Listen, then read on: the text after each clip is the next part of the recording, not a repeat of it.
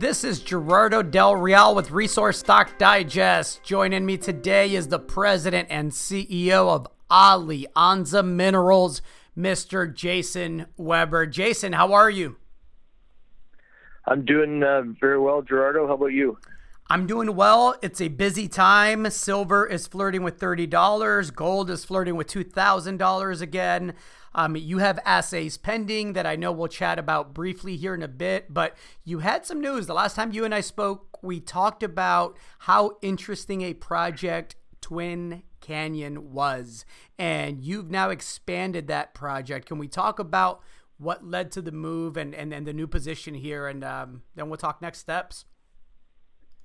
Yeah, I th- if you remember when we uh, we acquired the project, one of the um, one of the key sort of pieces of the puzzle for us was the uh, potential for that mineralization that's been uh, identified at the Charlene mine, the old uh, the old uh, adit that the the uh, placer miner had been working. We we wanted to make sure that was not the extent of uh, of the gold mineralization there. And while there were some high grade numbers, you know, eight nine grams multi gram material recovered from underground, uh, for us the potential really was how big could this be, and the stratigraphy that hosts that mineralization.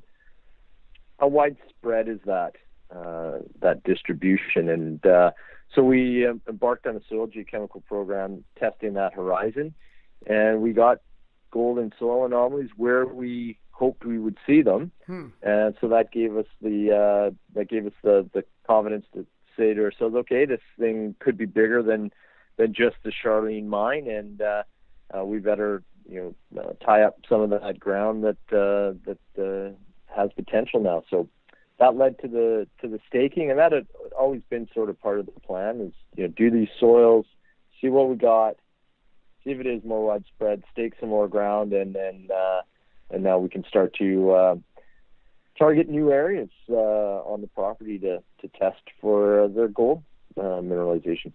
And for those not familiar, the Charlene mine was a small underground gold mine, correct?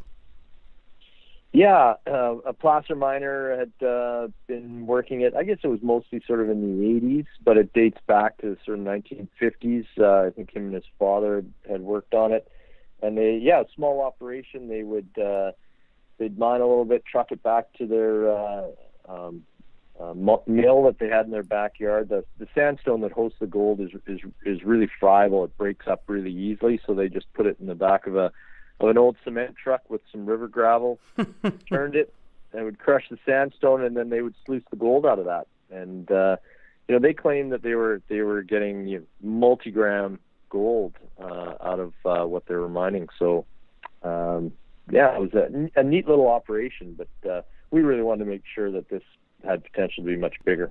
Absolutely. When do you plan on getting the team back in the field?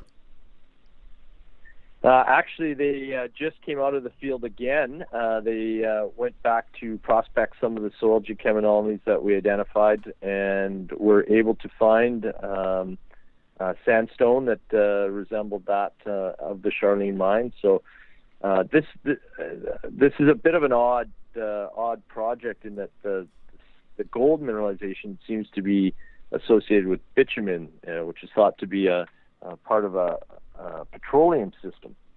And we were seeing that the the sandstone gets a distinctive spotted texture to it, uh, really bleached, and then these bitumen spots, black bitumen spots in it, and uh, they were seeing that in the vicinity some of these soldiers coming geochemical So that was that was promising. And uh, the next step for us would be to go uh, back into the uh, Charlene mine itself and um, do some detailed work looking at the uh, structural trends that uh, may be exposed underground to identify what might be the controls on, on the gold mineralization. So with that, we would uh, map the structure and then do some detailed sampling, which would then help us when we go to these uh, outboard anomalies, we can identify what structure, what structural orientation uh, we might be targeting when, when we test those anomalies.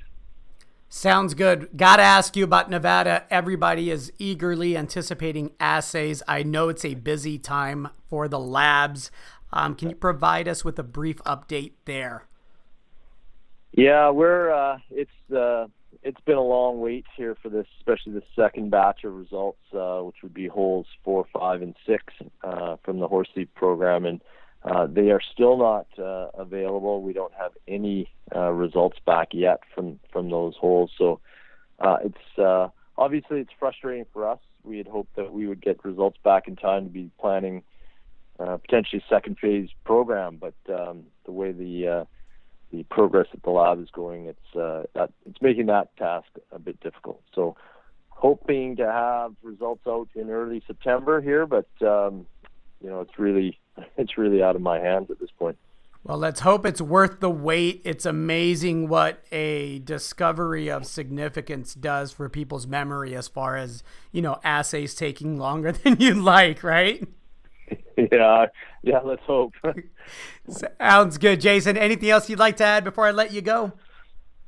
Yeah, we're just uh, in the planning phases of uh, of a, a fall drill program up at Haldane in uh, in the uh, Keno Hill district. So that would go um, probably starting sometime in October, which a lot of people might think, wow, that's kind of late for the Yukon. But uh, of course, we, we have good road access into the project, and uh, we pick our the areas we drill, I think we're going to have a uh, a good uh, a good sort of month to six week program up there this fall that uh, get us back into some of the areas like Bighorn and, and the Middlecoff zone where we had good results last year, and we can we can follow those up with uh, drill tests this year.